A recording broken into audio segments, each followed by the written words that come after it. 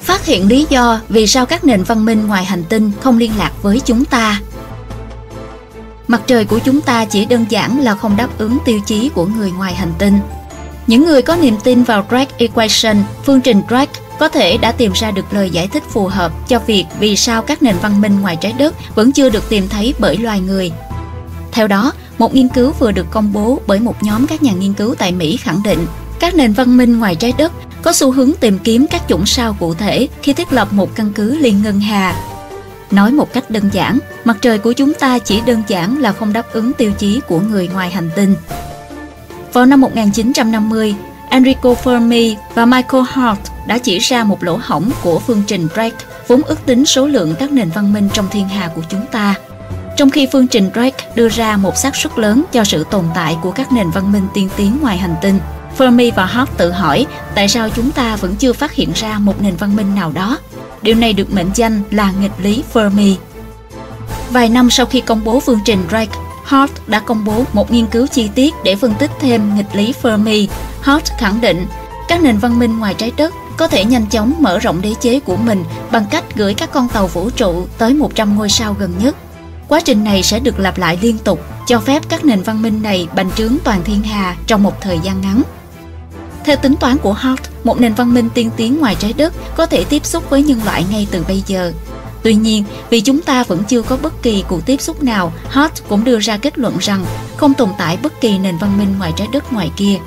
Do đó, các nhiệm vụ như tìm kiếm trí thông minh ngoài trái đất, CT không có ý nghĩa.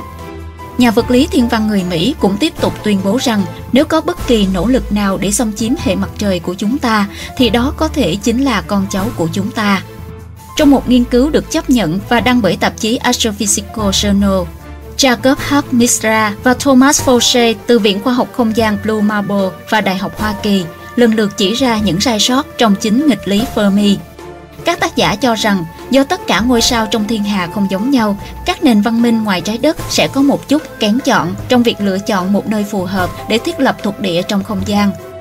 Một nghiên cứu vào năm 2021 khẳng định các nền văn minh tồn tại lâu đời, thà chọn các hệ sao lùng ca và sao loại mờ có khối lượng thấp để tối đa hóa vòng đời trong thiên hà.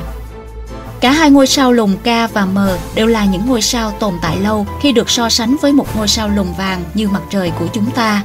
Mặc dù điều này có thể không tạo ra sự khác biệt lớn đối với loài người, nhưng các tác giả cho rằng các nền văn minh ngoài hành tinh có khả năng đô hộ các hệ mặt trời chắc chắn sẽ cân nhắc điều này khi đưa ra quyết định của họ.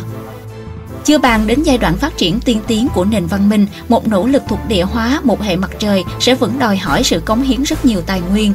Nền văn minh ngoài hành tinh sẽ không đặt cược tài nguyên của mình vào một ngôi sao đang ở cuối vòng đời hoặc có thể sắp chết trong vài triệu năm tới.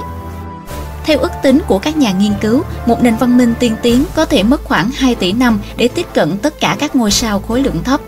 Có thể có nhiều nền văn minh đang cố gắng thực hiện điều này ngay bây giờ trong thiên hà của chúng ta, điều mà chúng ta không thể loại bỏ chỉ vì chúng ta chưa phát hiện ra chúng. Các chương trình như CT có thể giúp chúng ta trong nỗ lực này để phát hiện ra chúng.